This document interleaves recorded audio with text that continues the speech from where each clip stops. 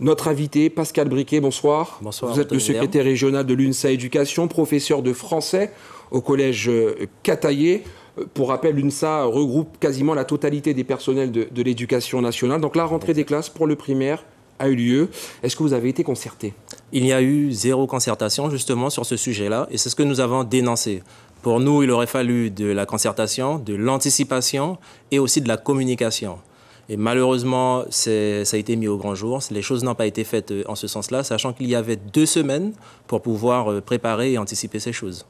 Alors les collèges et lycées risquent de rouvrir également. Pour l'instant, pas de, de, décision. Quelle est votre position? Pour nous, nous avons euh, demandé à l'époque à ce que les établissements soient ouverts pour les élèves qui passent euh, leurs examens.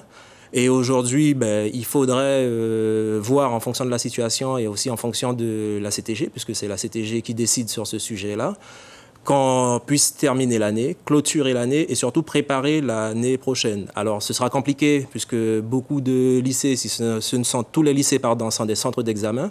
Donc ça veut dire que les, cela sera déserté, mais pour les personnels, il est important, façon le travail continue, que l'on puisse clôturer l'année et on puisse déjà penser à la rentrée prochaine. Voilà, donc pour vous, uniquement euh, la présence des élèves qui passent des examens. Les autres, l'année scolaire est terminée. L'année scolaire n'est pas terminée puisque nous nous battons aussi quand même pour la reconquête du mois de juin.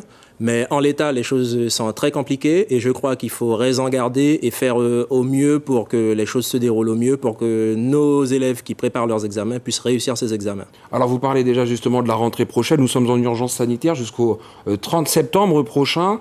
Euh, comment vous, vous l'imaginez, cette rentrée? Qu'est-ce que vous préconisez? Qu'est-ce qui devrait changer selon vous?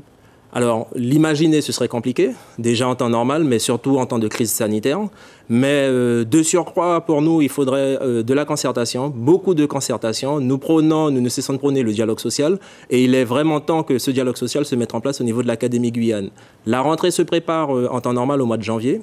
En Guyane, nous l'avons préparée en mars les comment dirais-je les remédiations enfin c'est pas les remédiations mais si vous voulez on refait les calculs par rapport aux prévisions d'effectifs au mois de juin oui. Mais là, nous sommes déjà à la mi-juin. On n'entend pas encore parler de ce comité technique-là qui fera euh, justement les choses, euh, le point sur la rentrée. Pour qu'on n'ait pas, justement, au niveau de la rentrée, à avoir une impréparation ou des cafouillages comme on a pu le connaître euh, au préalable. Ce que vous nous dites, c'est que le dialogue est très difficile avec le rectorat?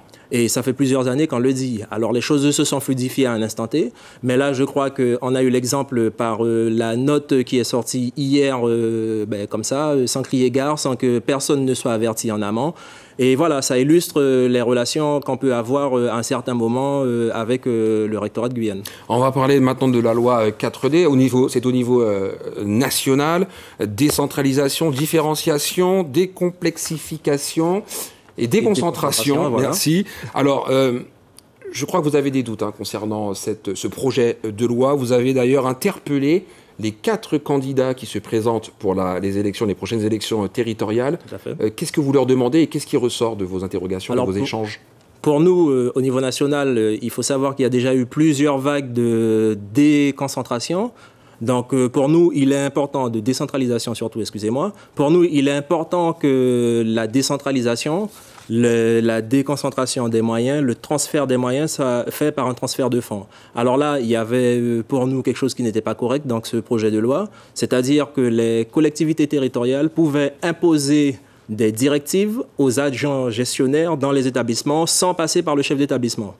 Donc là, il y a eu un correctif, mais n'empêche que c'est quand même assez compliqué. Au niveau relations humaines, il y a un risque de crispation dans les établissements. Et pour nous, on a vu que ça ne fonctionne pas. Il y a déjà un fonctionnement qui a pris quand même beaucoup plus, plus de 40 ans pour euh, se mettre en place, pour Très que bien. les choses euh, soient pacifiées. Donc pour nous, c'est important. Et ensuite, le deuxième point, c'est il y a une volonté depuis plusieurs années de transférer les professionnels de santé, euh, éducation nationale, vers les collectivités territoriales. Et pour nous, il faudrait voir le problème autrement. Il y a un souci au niveau du recrutement de ces personnels de santé, de leur accompagnement. Pour et conclure. là, et pour nous, donc voilà, c'est important. Il faut vraiment qu'on fasse une campagne nationale pour cela et que nos candidats puissent se- se saisir de ce dossier et pour nous donner aussi leurs avis sur l'éducation en Guyane. Pascal Briquet, merci d'avoir répondu à nos questions. Merci à vous.